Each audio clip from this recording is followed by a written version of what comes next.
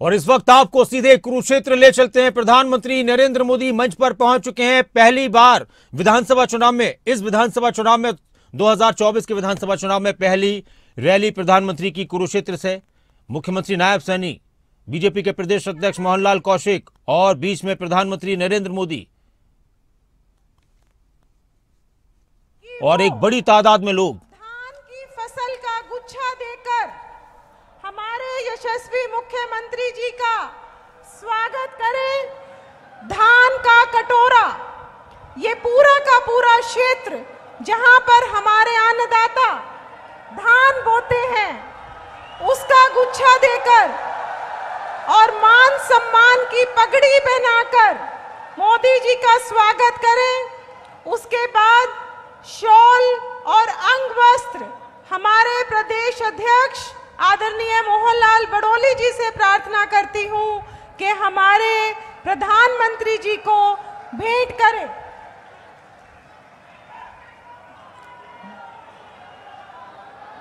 कर्मण्यवादिरास्ते माँ फलेशु कदाचन, कर्म करता रहे फल की इच्छा ना कर, ऐसे भगवान श्री कृष्ण जिन्होंने गीता का संदेश दिया, उनकी प्रतिमा हमारे यहाँ के सांसद नवीन जिंदल जी और यहाँ के प्रत्याशी भाई सुभाष सुधा जी हमारे प्रधानमंत्री को भेंट करेंगे।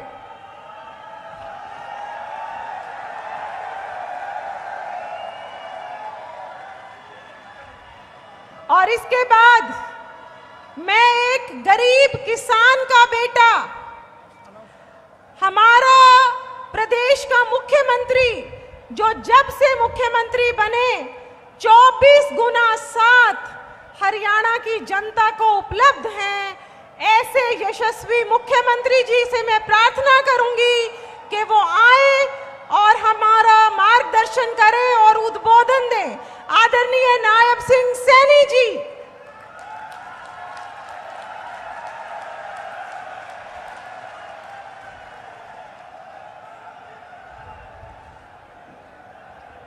भारत माता के।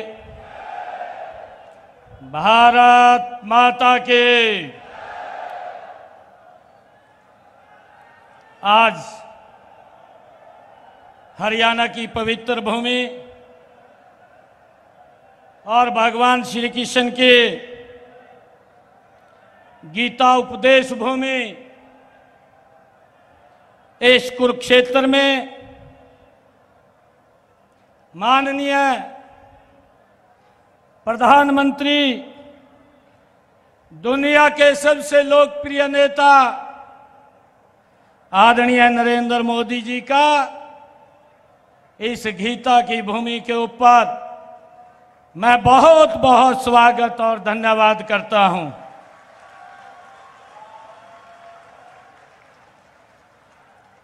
जहाँ धर्म की लड़ाई स्वयं भगवान श्री कृष्ण ने लड़ी और उसी लड़ाई में पूरी मानवता को गीता के माध्यम से संदेश दिया था और उसी गीता से निकला क्रमनेवाधिकारस्ते माँ भलेसु कदाचन। माननीय प्रधानमंत्री जी कहने को और सुनने को। मैं यह गीता का श्लोक है, लेकिन 10 सालों से हरियाणा में भारतीय जनता पार्टी की सरकार आपके मार्गदर्शन में इसी कर्म नेवाधिकारस्ते के सिद्धांत पर चल रही है। मैं कुरुक्षेत्र की इस धरती से पूरे हरियाणा की ओर से आपका स्वागत अभिनंदन करता हूँ। और आपको हरियाणा की तरफ़ से राम राम कहता हूँ। माननीय प्रधानमंत्री जी, आपके स्वयं भी हरियाणा में सरकारों को और शासन को आपने नज़दीक से देखा है। और हरियाणा की जनता ने भी उस शासन प्रशासन की व्यवस्था को भुगता है। लेकिन पिछले दस सालों में भारतीय जनता पार्टी की सरकार के सुशासन को लोगों ने देखा भी है और अनुभव भी किया है। पिछले दस सालों में हरियाणा बदला भी है और बेहतर भी हुआ है। हरियाणा की पिछले पचास सालों की सरकारों और भारतीय जनता पार्टी की आपके तत्वाधान में दस सालों की सरकारों के कामों में ज़मीन आसमान का अंतर आज दिखाई देता है।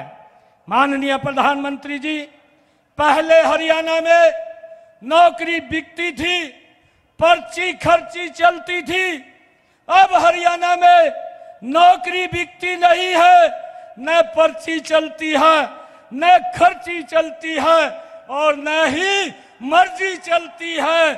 पहले केवल गरीब की मेहनत और युवाओं की लगन चलती है।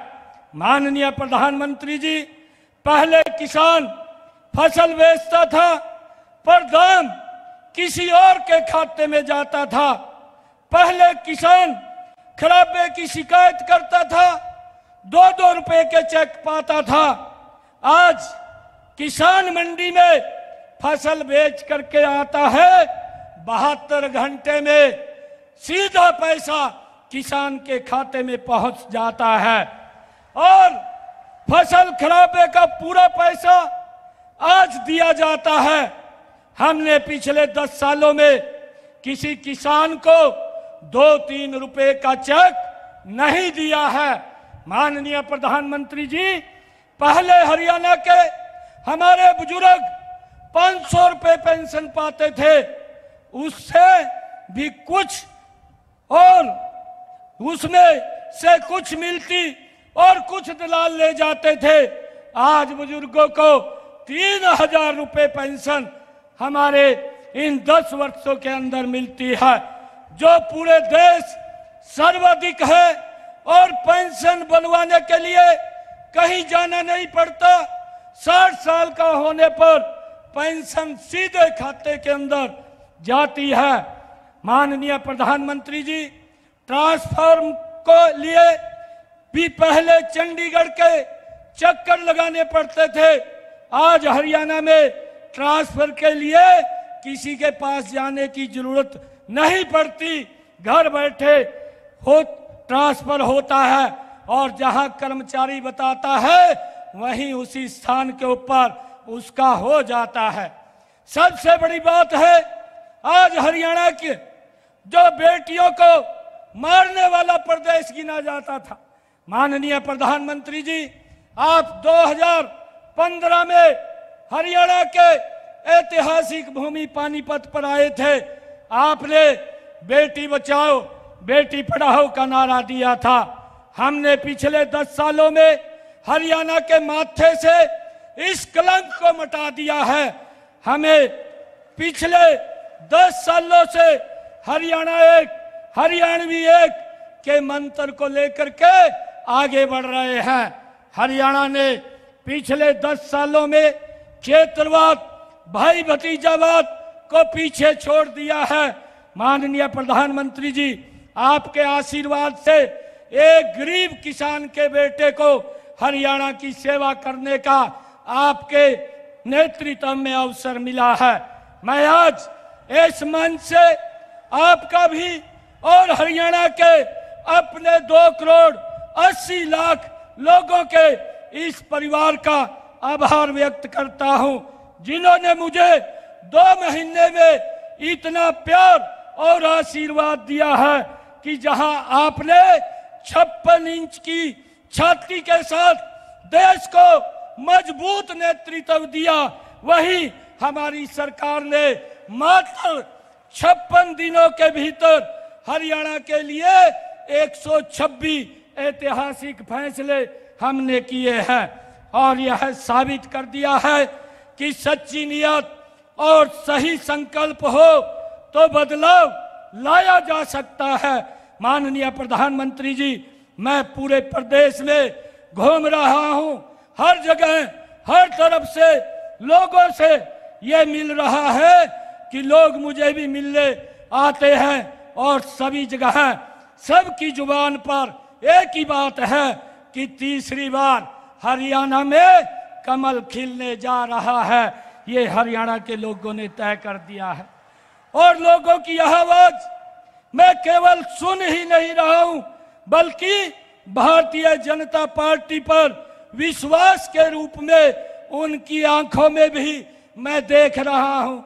माननीय प्रधानमंत्री जी, हरियाणा का जवान देश के लिए जान देता है, हरियाणा का किसान देश के लिए अन्न उगाता है और हरियाणा का पहलवान देश के लिए मेडल लाता है।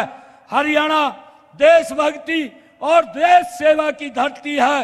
हरियाणा कभी देशभक्ति से पीछे नहीं हटेगा। मैं आज आपको विश्वास दिलाता हूँ कि हरियाणा आपके साथ कदम से कदम मिला करके चलेगा। और तीसरी बार हरियाणा में भारतीय जनता पार्टी की सरकार बनाकर डबल इंजन की तीन गुना रफ्तार पकड़ेगा। मैं एक बार फिर पूरे हरियाणा की ओर से आपका बहुत बहुत धन्यवाद करता हूँ, अभिनंदन करता हूँ। एक बार फिर से पूरे हरियाणा की ओर से आपको राम राम कहता हूँ। जय हिंद, जय भारत, जय हरियाणा।